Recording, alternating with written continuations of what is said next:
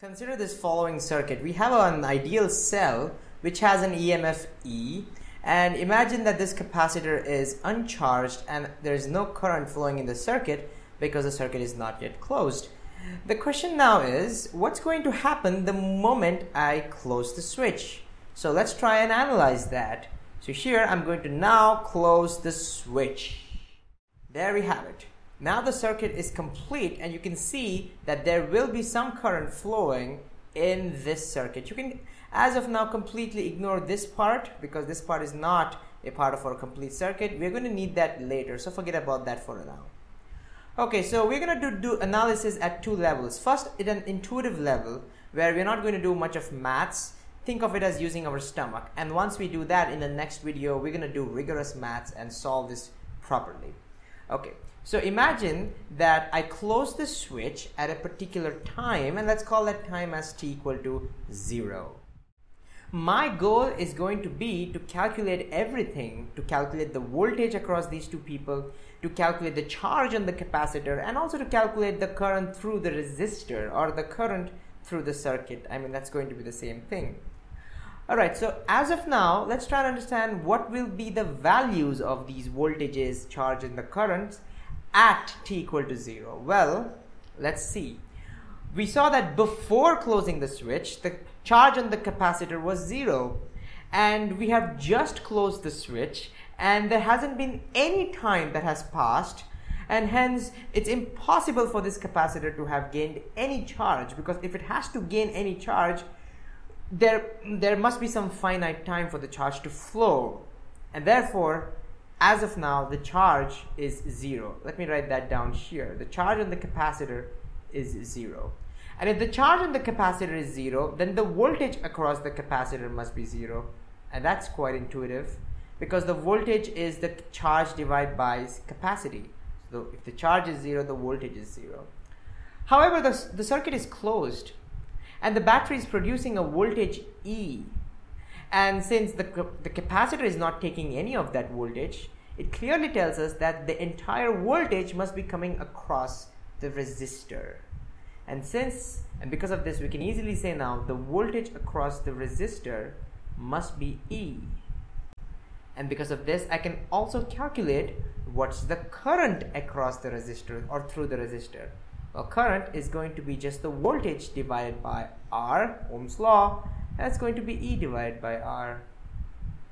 Ta-da! I have now found every single thing that I wanted. So there you have it. That's the situation at time t equal to 0. But you know what? I want to know about these values at any moment in time. I want to know maybe after 5 milliseconds what's going to happen. But let's think about this if I wait for some finite time, so let's say after a time delta t, what will happen to the charge on the capacitor? Well, since the current is flowing in this direction, charge will get deposited on this side of the capacitor plate, and so this plate is going to start becoming positive, and this plate, because of which, is going to start becoming negative, and hence the charge now is going to be more than zero. And because the charge is more than zero, we can now understand that the voltage across the capacitor should be more than zero. This helps us understand what's going to happen to the voltage across the resistor. Well, before entire E was coming across the resistor, but now it has to be shared with capacitor and the resistor. And since the voltage across capacitor is non-zero, this tells us now that the voltage across the resistor has to be less than E. And definitely because of this, the current in the circuit now has to be less than E by R. Ooh, this is telling us something. This is actually giving us a feeling of how these quantities are changing. These two guys are growing with time and these two guys are reducing with time. That's amazing. That's interesting. So this tells us that the current over here which we found was actually the maximum current. This was the maximum current. Alright, you could ask me, well, this is just an eyeball. I mean, we don't know exactly. Could you tell me exactly how much the charge is? Well, I will tell you exactly how much the charge is in the next video when we analyze this in great detail. But as of now, we're just having some intuition, you know, having some fun with this circuit, teasing this circuit and trying to find out what's going to happen. Alright, eventually I want to know what's going to happen after a long time if I wait for a long time. We usually call that as wait for time t equals infinity. Now infinity is a little bit of far-fetched, but that's how we write things in physics. So I want you to think about it. Can you pause the video for a while and think about what's going to happen to these quantities? Just, just continue the same chain of thought. Alright, I'm going to begin with the voltage across the capacitor because that's going to be the easiest this time. You see, the voltage across the capacitor is growing and the voltage across the resistor is decreasing. And this tells, but the total voltage cannot exceed E, charge con uh, energy conservation. And hence, this tells us that finally, the voltage across the capacitor must equal E. That should be the eventual condition because the voltage keeps on growing over here. And because of this, we can now find out what's going to happen to our charge. Our charge, you know the formula for capacitor, charge equals just C times V. So that's going to be C times V. V is just E. Ooh, this tells us this is going to be the maximum charge on the capacitor. What's going to happen to the voltage across the resistor? Well, that's going to decrease. Well, that's going to die out. That's going to become zero. Well, that has to happen. This entire voltage has been taken up by the capacitor now. Well, this tells us that the current across, or the current in the circuit is going to become zero. That's the eventual thing. And after this, things are not going to change anymore. Guess what? Things have achieved electrostatic equilibrium. And that's what a capacitor does. A capacitor is an electrostatic device, right? It wants to achieve electrostatic equilibrium, and that's what it eventually does. So we have now reached electrostatic equilibrium. Okay, so there have been two states that we have seen. There was a state from time t is equal to 0 until we had time t is equal to infinity where the where the variables were changing. This state where the variables were changing is what we call as the transient state.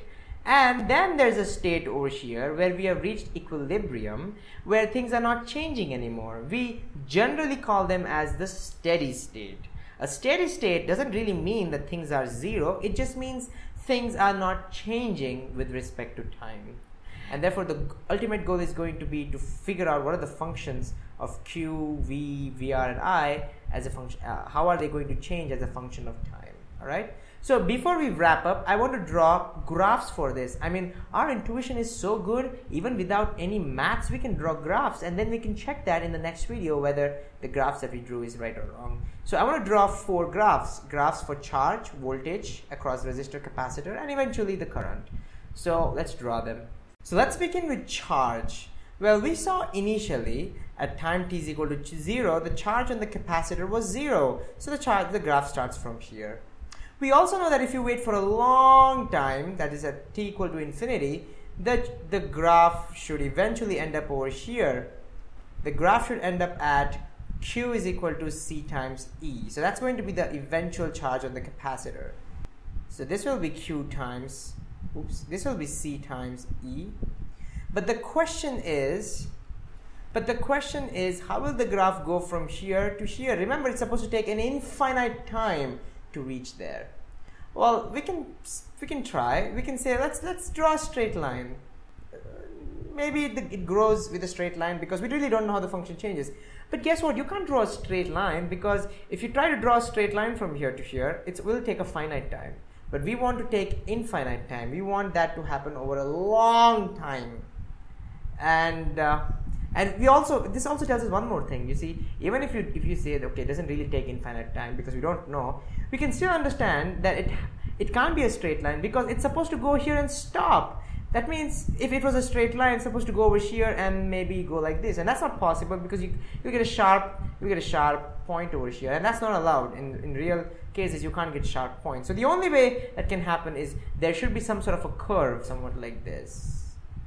Maybe the curve goes this way and then it approaches, it approaches, it approaches. It never quite reaches over there, and that is the kind of expectation we can do when it comes to the graph of Q versus T. So what do you think is going to happen to voltage across time? Well, notice that the voltage follows the same rule, right? I mean, voltage is given by Q divided by C and c is a constant so voltage is going to do the same thing what the charge is doing and so we would expect the same thing for our voltage and the final voltage has to be E.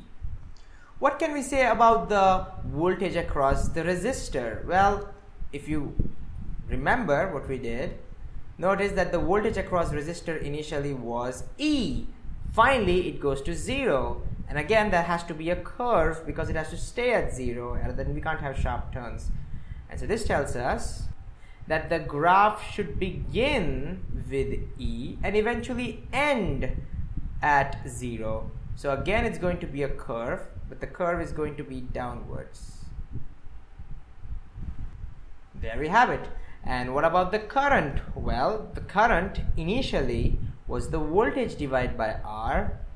So voltage E divided by R. And again, it should approach 0 and therefore the current also is going to have the same graph. Ta-da! There we have it. So you see, even though we haven't done any mathematical analysis, just by using logic and a little bit of voltage and current and Ohm's law and everything, we were able to pretty much figure out what the graphs look like and what the situation looks like. In the next video, we're going to try and analyze exactly what's going to happen. Therefore, if you ask me at a particular time, so you told me, if you ask me, well, what happens after 5 milliseconds, then I should be able to tell you in the next video, we should be able to work out exactly how much will the voltage across the resistor reduce to, for example. So let's do that in the next episode. So to be continued, see you next time.